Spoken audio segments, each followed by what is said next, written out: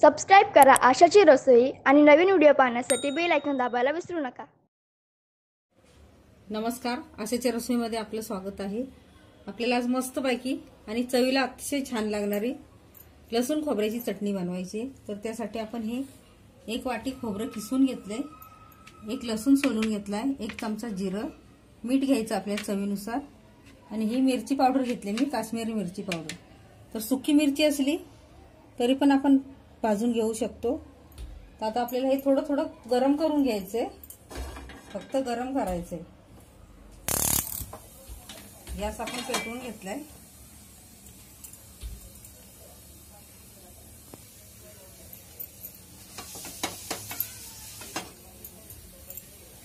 आपल्याला जिरं टाकायचं एक चमचा. पॅन तापलाय आपला. अगदी हलकसं भाजून घ्यायचे आपल्याला. छान हलकंसं भाजून घेतलंय. आता आपल्याला खोबरं घ्यायचंय. भाजायचं नाही आपल्याला. अगदी गरम करून घ्यायचे साधारण. म्हणजे आपली चटणी किती दिवस राहिली तरी खराब होत नाही. अशी पण नाही होत खराब. खोबरं जर चांगलं सुकलेलं असलं तर अगदी संपेपर्यंत खराब होत नाही ही चटणी. गरम करून घेऊया खोबरं. अगदी साधारण बघा आपण गरम करून घेतलंय. हलकासा अगदी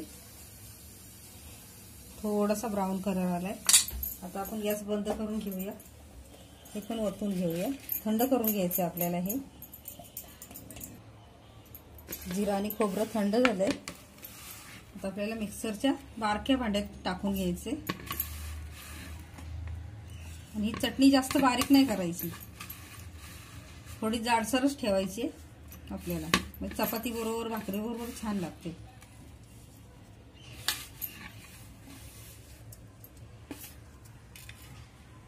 याच्यामध्ये चवीनुसार मीठ टाकायचे आपल्याला. लसूण टाकायचे. किंवा लसूण थोडी चेचून घेतली तरी चालते कारण मिक्सरमध्ये पूर्ण बारीक होत नाही एखाद्या वेळेस मिरची पावडर. छान फिरवून घ्यायचं आपल्याला मिक्सरला आता.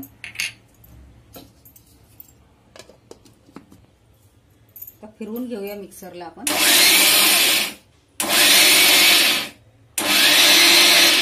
मिक्सर आपल्याला चालू बंद चालू बंद करून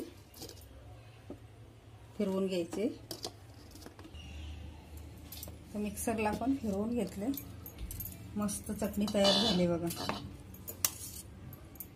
आता तुम्हाला ह्याचा कलर थोडा फिका दिसत असेल पण थोड्या उशिरानं हे पूर्ण मिक्स झाली ना की सुंदर कलर येतो चटणीला. काढून घेऊया आपण. आता ही लसूण खोबऱ्याची चटणी आपली तयार आहे खाण्यासाठी. ही चटणी तुम्ही चपाती बरोबर भाकरी बरोबर किंवा वडापाव बरोबर खूप सुंदर लागते. आणि एखाद्या दिवशी आपल्याला कंटाळा आला बाबा डब्याला जर आपल्याला भाजी काही नसेल तर आपण ही चटणी करून ठेवली तर पटकन आपण चपाती बरोबर खायला डब्यात देऊ शकतो. छान राहते आणि संपेपर्यंत खराब होत नाही. तर ही ठेवायला आपण हवा पण डब्यामध्ये ठेवायची. अगदी मस्त राहते. महिना ठेवा दोन महिने ठेवा. तिला काही होत नाही. तर नक्की तुम्ही अशीच चटणी ट्राय करा. व्हिडिओ माझा लाईक शेअर करा. धन्यवाद.